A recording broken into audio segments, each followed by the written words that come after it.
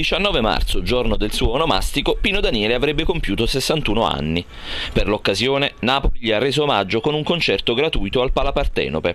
Il Teatro della Musica di Fuorigrotta, gremito, ha accolto i tanti artisti, vecchi amici di Pino e giovani talenti che lo hanno voluto ricordare.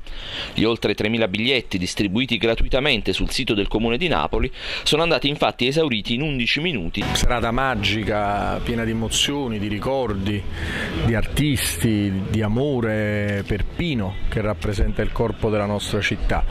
Devo dire che in questo periodo che sembra così vicino e così lontano allo stesso tempo, Napoli ha, ha, dedicato tantissimi momenti e tantissime giornate a Pino.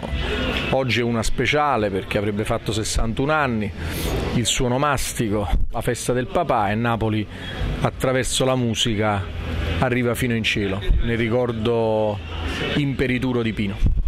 Non casuale la scelta del Palapartenope. È lì infatti che Pino Daniele ha tenuto negli ultimi anni i suoi concerti napoletani insieme agli amici storici e dove ha sempre dimostrato quanto fosse ancora legato alla sua Napoli. I sto vicino a te, titolo di una delle sue canzoni più amate e cantate dai fan, è stato il nome dell'evento, destinato nelle intenzioni degli organizzatori a diventare un appuntamento fisso ogni anno.